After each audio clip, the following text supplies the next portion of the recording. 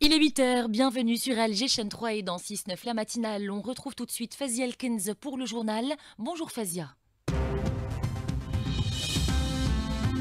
Vous écoutez Alger chaîne 3, le journal. Fatima, bonjour. Le président de la République donne des instructions pour l'accueil de nos ressortissants. Abdelmajid Tebboune a présidé hier un conseil des ministres des projets de réalisation de lignes ferroviaires, la production locale de fibres optiques également au menu de la réunion. Le chef de la diplomatie algérienne est à Dakar en sa qualité d'envoyé spécial du président de la République. Ahmed Attaf est porteur d'un message écrit de Abdelmajid Tebboune à son homologue sénégalais. Le droit de vivre en paix implique une force de défense dissuasive, d'où l'importance de renforcer les capacités de combat de nos forces armées. Déclaration du général d'armée, chef d'état-major de l'ANP en visite à la deuxième région militaire. L'Espagne, l'Irlande et la Norvège annoncent leur décision de reconnaître conjointement un État palestinien, une victoire diplomatique pour l'autorité palestinienne et un nouveau revers pour l'entité sioniste. Culture, tombée de rideau hier à l'Opéra d'Alger sur le 13e Festival international de la musique symphonique, une soirée de clôture en apothéose avec la Russie et la Syrie. Et puis sport, championnat du monde de para-athlétisme au Japon, l'Algérienne Jalel Safia décroche la médaille d'or au lancer de poids avec à la clé un record mondial. Et mondiaux de judo à Abu Dhabi, deux Algériens en lice ce jeudi. Madame, Monsieur, bonjour. On entame cette édition avec les instructions et orientations du président de la République en Conseil des ministres hier. Plusieurs secteurs ont été passés en revue. Il a notamment été question des préparatifs de la prochaine saison estivale et des dispositions d'accueil de notre communauté établie à l'étranger. Hanan Seissi.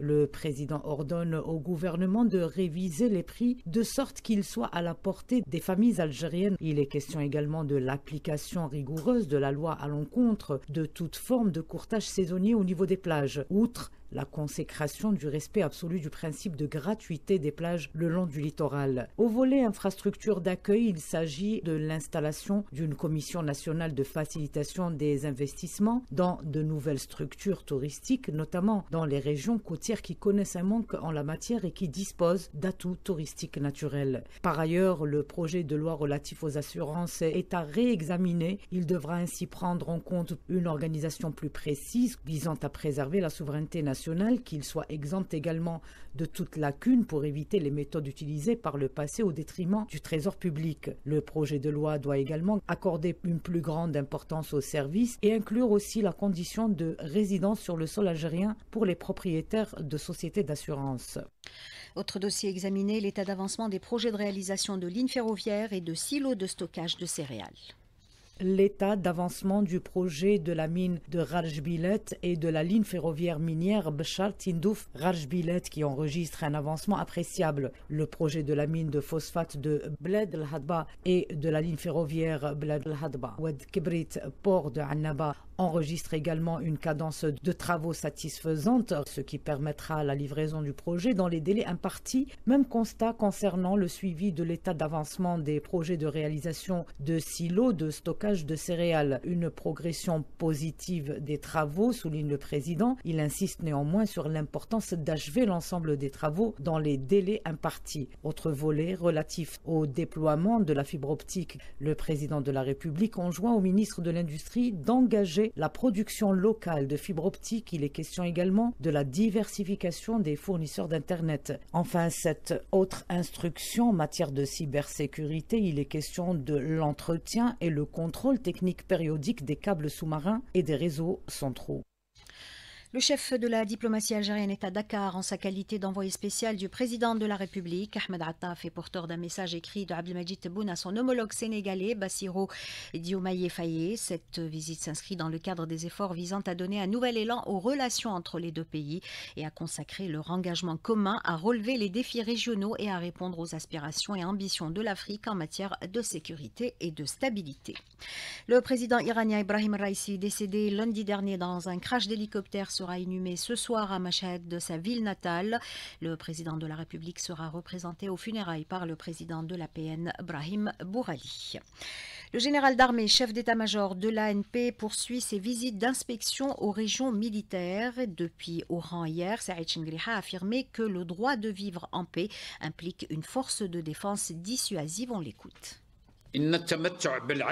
Tous les peuples sans exclusive ont le droit de vivre en paix et d'aspirer à la sécurité et à la quiétude. Il s'agit d'un droit garanti par toutes les lois humaines et les pays du monde entier œuvrent pour que ce droit perdure, en veillant bien sûr à construire une force de défense dissuasive. Tout droit qui n'est pas appuyé par la force ne serait donc plus qu'un mirage et un objectif irréalisable. En ce sens, nous œuvrons au sein de l'ANP, sous la conduite de Monsieur le Président de la République, chef suprême des Forces armées, ministre de la Défense nationale, à conférer à l'Algérie la puissance à même de préserver le droit de son peuple à vivre dignement dans l'indépendance et la souveraineté.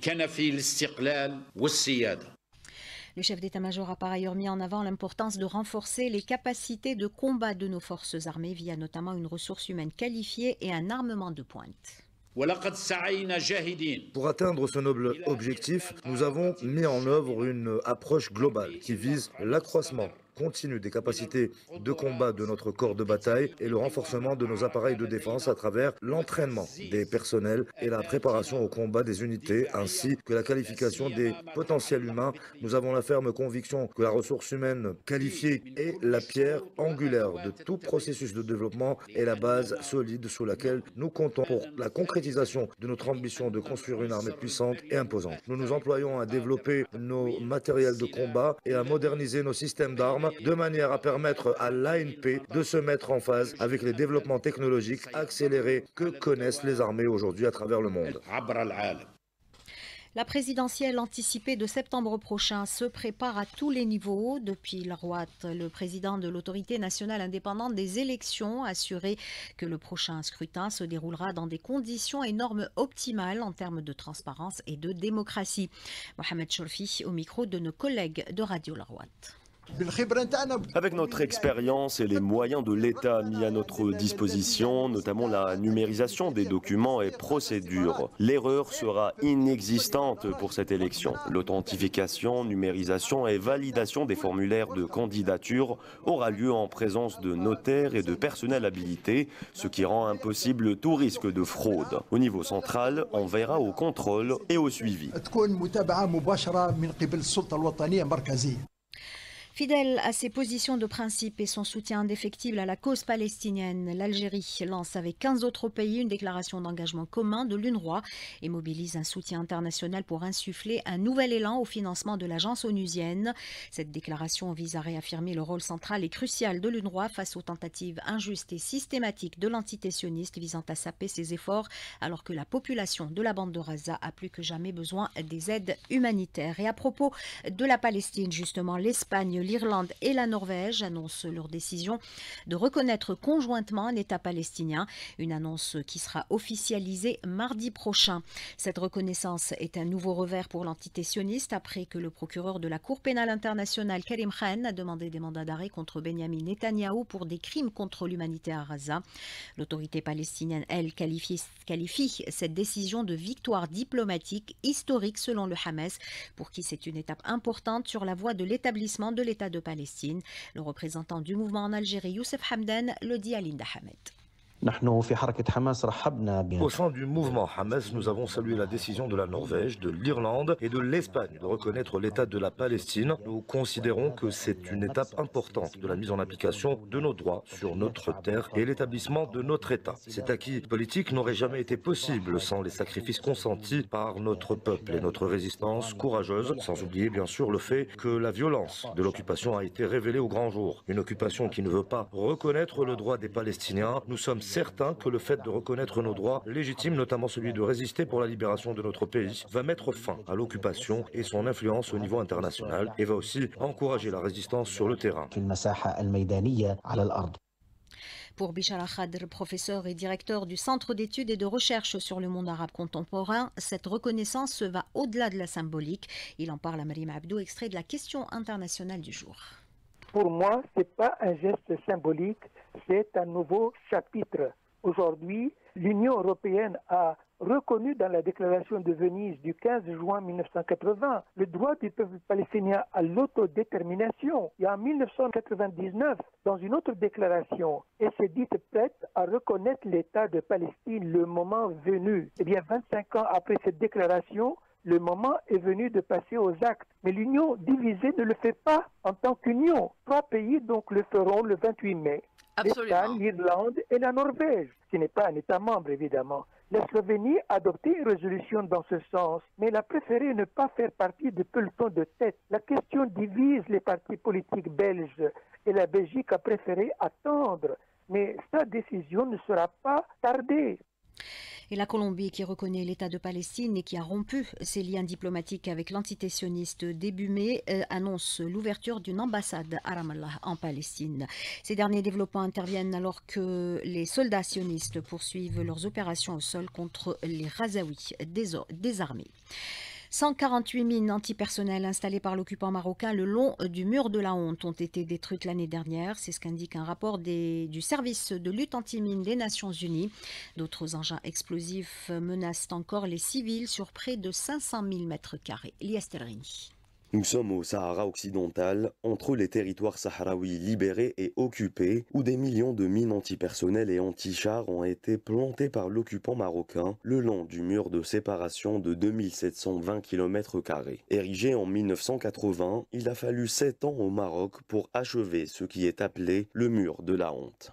Momo de l'agence Humanitarian Mine Action. La sensibilisation sur l'impact des mines et engins explosifs est basée sur les données de contamination du territoire du Sahara occidental, qui est divisé en deux par des lignes défensives marocaines longues de 2720 km et contenant plus de 8 millions de mines antipersonnelles et anti-chars, vient s'ajouter à ces chiffres la nouvelle ligne de Gargarat qui est minée du début à la fin.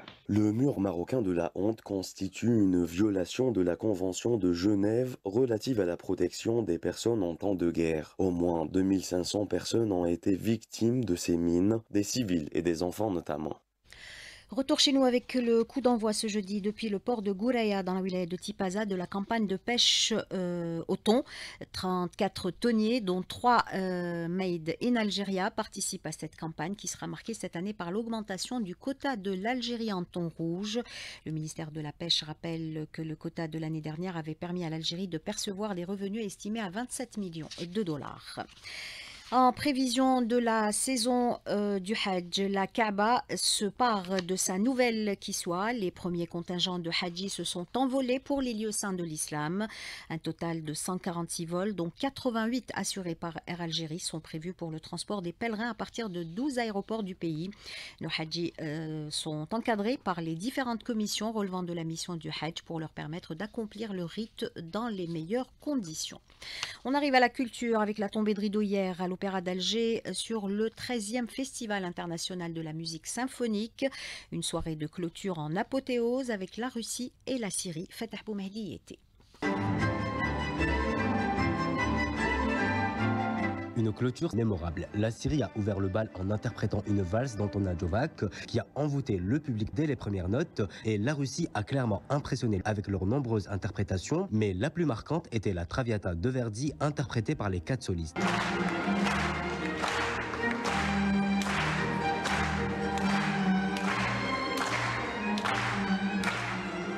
Maria Butir, directrice de l'orchestre de chambre de Moscou, Musica Viva.